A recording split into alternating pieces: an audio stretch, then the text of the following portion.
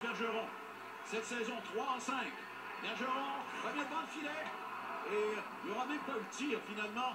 La rondelle lui a comme échappé. Boudaille a bloqué avec le bâton. 2 en 3 pour Desharnais cette saison. Rask sort très loin. Desharnais fait un tir. Et le but, mais est-ce qu'on va l'accorder? Attendons, non, on refuse. 2 en 4 pour Brad Marchand cette saison. Devant Boudaille, le oh, il a raté complètement à la gauche du filet. Ryder s'avance, la fin, le tir, il a tenté le revers. Et Rask, qui n'a pas vendu. Rich Beverly maintenant, première fois cette saison. Beverly devant Boudaille, fin, et un bel arrêt de Boudaille.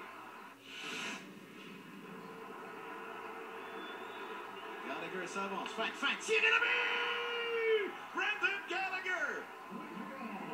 Qui donne la victoire aux Canadiens. Et comme l'a dit Denis Gauthier, cette équipe-là ne cessera jamais de nous étonner. Entièrement d'accord avec notre collègue. Deux déficits de deux buts.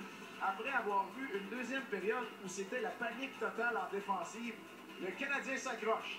Inspiré par Boudaille, Gallagher la bougie d'allumage dont Benoît parlait, ferme